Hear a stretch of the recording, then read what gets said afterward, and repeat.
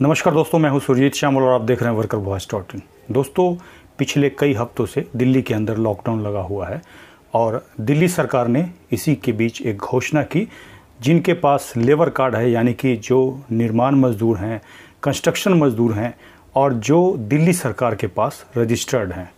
और रजिस्ट्रेशन के बाद एक कार्ड दिया जाता है, उनको एक अतिरिक्त राहत देते हुए पाँच हज़ार रुपये प्रत्येक लेबर कार्ड धारकों को ये बताया गया सरकार के द्वारा कि उनके अकाउंट में भेजा जाएगा। हालाँकि दिल्ली के अंदर पिछले लॉकडाउन के दौरान भी सरकार के द्वारा पाँच पाँच हज़ार रुपये प्रत्येक लेबर कार्ड धारकों को दिया गया था। ऐसे बताया जा रहा है कि जब पिछली बार यानी कि 2020 में लॉकडाउन हुआ था तो उस समय दिल्ली के अंदर पचपन हज़ार कंस्ट्रक्शन मजदूर थे जो कि सरकार के पास रजिस्टर्ड थे। लेकिन उसके बाद कैंपेनिंग वगैरह चलाया गया था। तो उनकी संख्या बढ़ करके दो लाख दस हज़ार के आसपास हो गई है। अभी एक दो दिन पहले ही केजरीवाल जी ने एक प्रेस कॉन्फ्रेंस में कहा कि जितने भी कंस्ट्रक्शन मजदूर हैं, जो उनके पास रजिस्टर्ड हैं, उनके अकाउंट में पाँच पाँच हज़ार रुपया क्रेडिट कर दिया गया है। पिछले हफ़्ते हम लोगों ने खासकर मजदूरों के लिए ऐलान किया था कि हर मजदूर के अकाउंट में पाँच पाँच हज़ार रुपये हम लोगों ने डालने का ऐलान किया था। उनके अकाउंट में पाँच पाँच हज़ार रुपये जा भी चुके हैं। लेकिन उसके बाद भी हमारे ब्लॉग पे, हमारे यूट्यूब चैनल के माध्यम से जो आप लोगों के कमेंट्स आ रहे हैं, उससे ये पता चल रहा है कि बहुत सारे लोग ऐसे हैं जिनके अकाउंट में अभी तक क्रेडिट नहीं किया गया है। उसका क्या कारण है, ये तो सरकार को पता होगा। लेकिन उसके बाद ही मैंने आपको कहा था कि मैं कोशिश करूँगा कि कैसे आप कंप्लेन करें, चूँकि अभी लॉकडाउन है और सभी लोगों को के सामने रोज़गार की समस्या है, खाने पीने की समस्या है तो मैं कुछ कंप्लेन का तरीका आपके सामने लेकर के आया हूँ, जिससे कि कंप्लेन आपको करना होगा और कैसे कंप्लेन करना है, कहाँ कंप्लेन करना है, इन सारी बातों की जानकारी हम आपको इस वीडियो में देंगे। इसके साथ ही कैसे लिखेंगे, क्या लिखेंगे, क्या फॉर्मेट होगा इसके लिए अनुरोध है, आप इस वीडियो पे अंत तक बने रहें। और अगर आप हमारे चैनल पे नए हैं तो जल्द से जल्द इसको सब्सक्राइब कर लें और बेल आइकन को ज़रूर क्लिक करें, ताकि हम इस चैनल पे आप वर्कर से संबंधित जो भी वीडियो अपलोड करें, उसका नोटिफिकेशन आपको सबसे पहले प्राप्त हो। तो आइए दोस्तों, हम इसको स्टेप बाय स्टेप करके जानते हैं, लेकिन उससे पहले वीडियो को लाइक ज़रूर कर दें।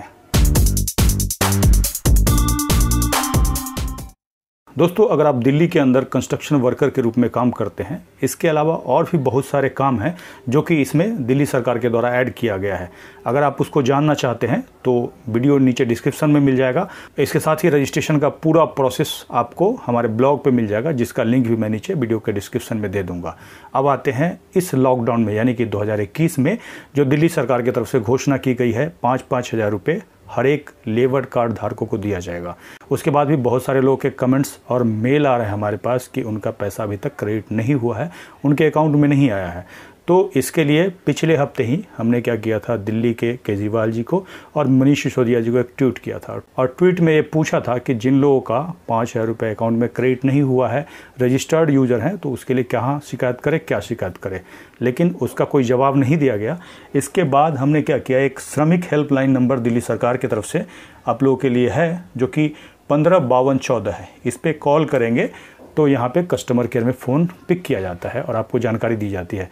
उसमें ये जानकारी दी गई, चूँकि अभी लॉकडाउन है और लेबर विभाग बंद है, जो आपका डिस्ट्रिक्ट कार्यालय है लॉकडाउन खुलने के बाद वहाँ जा कर के आप शिकायत करेंगे। ऐसे में सरकार से मेरा एक सवाल है कि जब लोग भूखे मर जाएँगे तो क्या उनका भूत लेबर कमिश्नर ऑफ़िस में शिकायत करने जाएगा?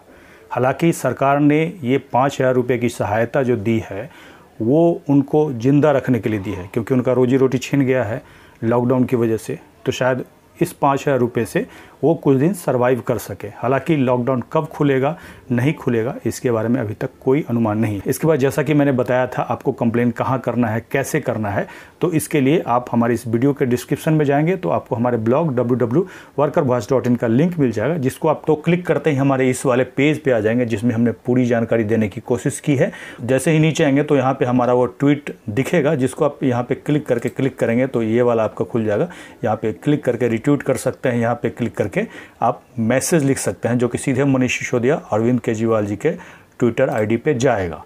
इसके बाद जो हमने समाधान ढूंढा है, उसके लिए आपको या तो अपने मोबाइल से टाइप करना होगा, या फिर कंप्यूटर है तो वहाँ से टाइप कर सकते हैं।